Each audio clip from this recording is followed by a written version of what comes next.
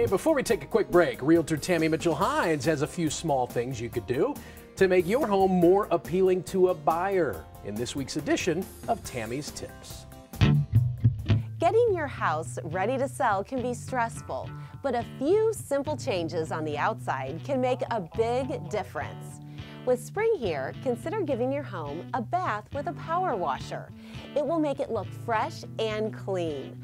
A fresh coat of paint on your front door doesn't cost much, but can make a huge difference. Put down a new welcome mat and add some flowers or greenery.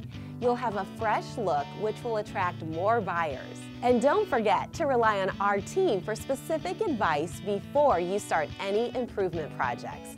Sometimes what you think is important is different than what a buyer thinks. And a good realtor would never ask you to spend a dollar to make a dollar. That's just more work. But a great realtor will ask you to spend a dollar if it will make you five.